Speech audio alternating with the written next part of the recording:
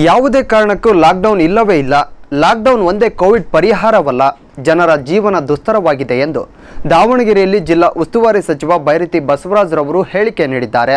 ಜಿಲ್ಲಾ ಉಸ್ತುವಾರಿ ಸಚಿವ ಬೈರತಿ ಬಸವರಾಜ್ರವರು ಮಾಧ್ಯಮದೊಂದಿಗೆ ಮಾತನಾಡಿ ಎರಡು ವರ್ಷಗಳಿಂದಲೂ ಜನರು ಅನೇಕ ಕಷ್ಟಗಳಿಗೆ ಸಿಲುಕಿದ್ದಾರೆ. ಸಿಎಂ ಮುಂದೆ ಲಾಕ್ಡೌನ್ ಪ್ರಶ್ನೆ ಇಲ್ಲ. ಈ ಕಾರಣದಿಂದಾಗಿ ಯಾವುದೇ ಕಾರಣಕ್ಕೂ ಲಾಕ್ಡೌನ್ ಬೇಡ. ಕೋವಿಡ್ ನಿಯಂತ್ರಣಕ್ಕೆ ಜನರು ಸಹಕಾರ ಕೊಡಬೇಕು ಎಂದರು. ನನಗೆ ಮಾನ್ಯ ಮುಖ್ಯಮಂತ್ರಿಗಳು ಇದು ಕೂಡ ಯಾವುದೇ ರೀತಿಯ ಲಾಕ್ಡೌನ್ ಬಗ್ಗೆ ನಮಗೆ ಏನು ಸುಳಿವಿಲ್ಲ. ಲಾಕ್ಡೌನ್ನ ಒಂದೇ ಇದಕ್ಕೆ ಪರಿಹಾರ ಅಲ್ಲ.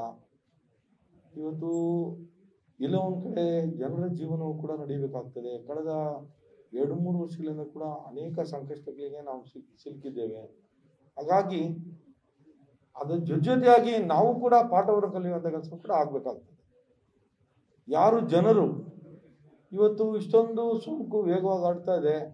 ನಾವು ಕೂಡ ಒಂದು ಕಡೆ ಆರಾಮಾಗಿ ಮಾಸ್ಕ್ ಹಾಕದೆ ತಿರುಗಾಡುವಂಥದ್ದಾಗಲಿ, ಬೇರೆ ಬೇರೆ ಜನಸಂದಣಿ ಸೇರ್ಕೊಳ್ಳುವಂಥದ್ದಾಗಲಿ ಇವೆಲ್ಲವೂ ಕೂಡ ಕೊಂಚ ಸ್ವಲ್ಪ ನಿಯಂತ್ರಣ ತಾವು ಕೂಡ ಮಾಡಿದಾಗ, ಕೈ ಜೋಡಿಸಿದಾಗ ಮಾತ್ರ ಸರ್ಕಾರಕ್ಕೆ ಒಂದು ಸಹಕಾರ ಆಗ್ತದೆ ಅನ್ನೋ ಮಾತನ್ನ ಈ ಸಂದರ್ಭದಲ್ಲಿ ನಾನು ಬಯಸ್ತೇನೆ.